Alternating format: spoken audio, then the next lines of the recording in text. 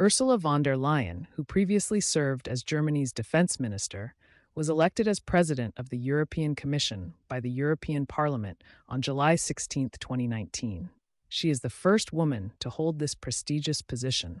The decision was met with overwhelmingly positive feedback, especially from German Catholics, for whom values such as solidarity and human dignity are central elements of their religious beliefs. A historic election.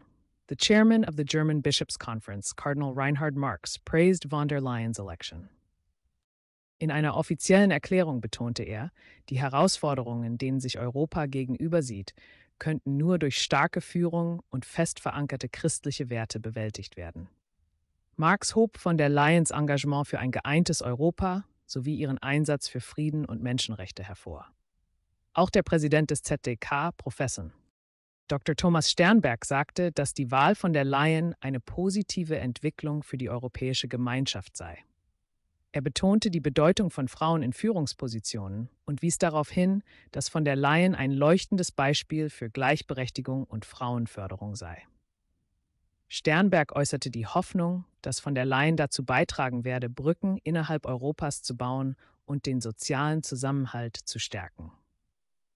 Von der Leyens Wahl wird nicht nur als ein Triumph für Deutschland, sondern auch als ein Signal der Hoffnung und Stabilität für die gesamte EU betrachtet. In a time of political uncertainties and challenges, such as the consequences of Brexit and the growing nationalist tendencies, von der Leyen is perceived as a figure of cohesion and stability.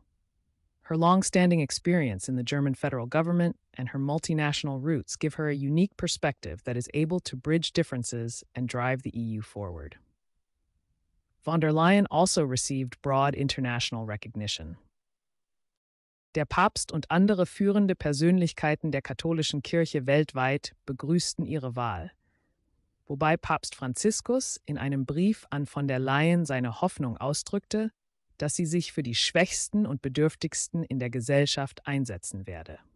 Diese Unterstützung unterstreicht die Bedeutung, die der katholischen Kirche und ihren Laienorganisationen innerhalb der europäischen Politik beigemessen wird.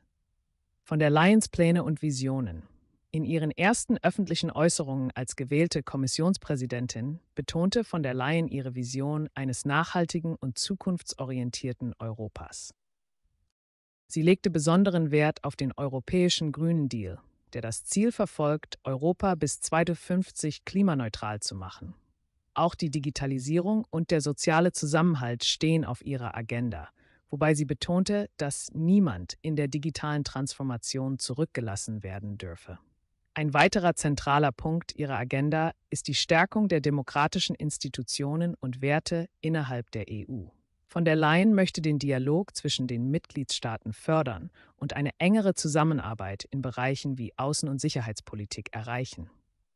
Ihre Prioritäten spiegeln die Überzeugungen der katholischen Kirche und des ZDK wider, die sich ebenfalls für eine gerechtere, solidarischere und friedlichere Welt einsetzen. Zusammenfassend lässt sich sagen, dass die Wahl von Ursula von der Leyen zur Präsidentin der Europäischen Kommission von den Bischöfen und dem Zentralkomitee der deutschen Katholiken als äußerst positiv wahrgenommen wird.